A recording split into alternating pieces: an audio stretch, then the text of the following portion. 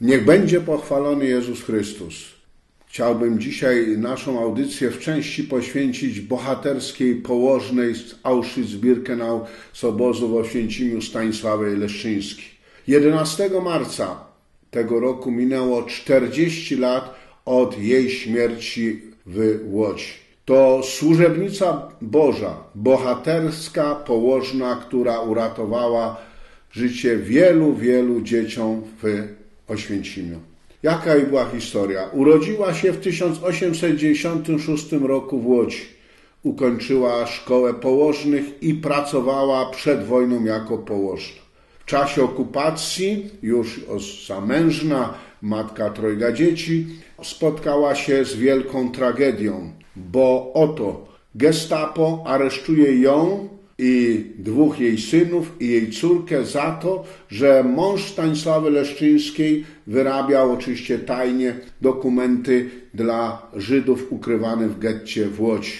Gestapo wpadło na trop tej pomocy dla Żydów, którą świadczył drukarz, mąż Leszczyńskiej i w nocy z 19 na 20 lutego 1943 roku aresztowano część rodziny Leszczyńskiej. Pani Stanisława Leszczyńska wraz ze swoją córką Sylwią została przetransportowana do Auschwitz-Birkenau, kobiecego obozu zagłady w Oświęcimiu. Tam działy się straszne rzeczy. Niemcy przywozili do obozu także ciężarne więźniarki. One rodziły w tym piekle oświęcimskim dzieci.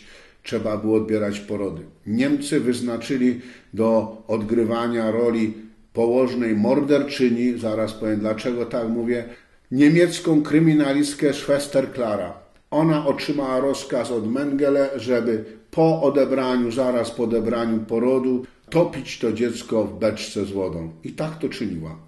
Schwester Klara zachorowała. Nie miał kto odbierać porodów. Wobec tego zgłosiła się Stanisława Leszczyńska. Zgłosiła się do samego zbrodniarza doktora Mengele, który pełnił, wiadomo, ważne funkcje w tym obozie śmierci.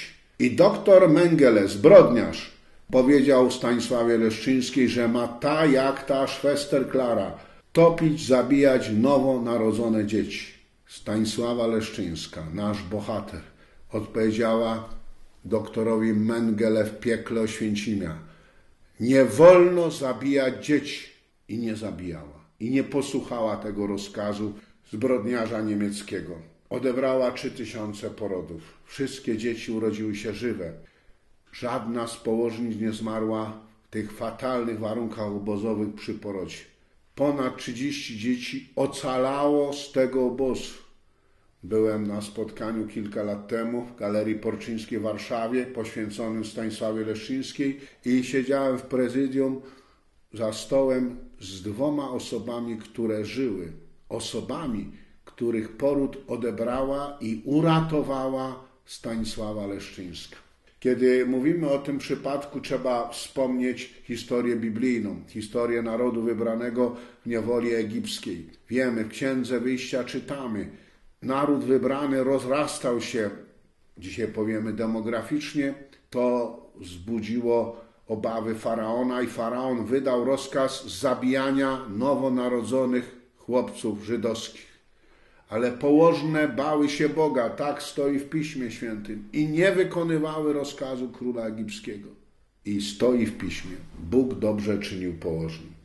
Nasza bohaterska Stanisława Leszczyńska jest żywym dowodem, że te słowa Pisma Świętego nie straciły nic ze swojej aktualności że dzisiaj każdy obrońca życia, każda położna i każdy lekarz, który broni życia, może liczyć na szczególną pomoc Bożą. No wyobraźmy sobie jeszcze raz tą scenę w Auschwitz-Birkenau. Doktor Mengele, pan życia i śmierci wszystkich więźniów w obozie, Wydaje rozkaz leszczyński, a tam wprost mówi, nie wolno zabijać dzieci i nie wykonuje tego rozkazu. Nie wykonuje tego rozkazu trzy tysiące razy. Trzeba dzisiaj mówić o tym naszym położnym, bo i dzisiaj są bohaterskie położne. Wiemy, walczą o życie, o swoją godność, o zachowanie czystości sumienia, między innymi w szpitalu Profamilia w Rzeszowie. Tam spotykają znaną położną próby represji. 50 tysięcy kary za to, że ujawniła preceder zabijania chorych, nienarodzonych dzieci w szpitalu Profamilia w Rzeszowie. O tym musi być głośno. O tych szpitalach, gdzie zabijane są dzisiaj polskie nienarodzone dzieci tylko z tego powodu, że są chore czy niepełnosprawne. Musimy mówić, musimy wspierać bohaterskich obrońców życia i tych, którzy pikietują, i tych, którzy nauczają, ale także te szlachetne położne czy lekarze, którzy wierni swojemu szlachetnemu powołaniu mówią zawsze życiu tak i nie godzą się na zabijanie nienarodzonych dzieci. Kochani, wiemy jak tragicznie zakończyła się sprawa dziewczynki urodzonej w czasie aborcji w szpitalu w Wrocławiu. Aborcja. U dziecka stwierdzono syndrom Downa i wydano na niego wyrok śmierci. Aborcja się nie udała, bo dziecko przeżyło i kilka tygodni walczyło o życie, zmarło. To jest tragiczny los dziecka odrzuconego zarówno przez rodziców, jak i przez pracowników służby zdrowia. Nigdy więcej zabijania dzieci nienarodzonych, także tych niepełnosprawnych przed narodzeniem. Szczęść Boże.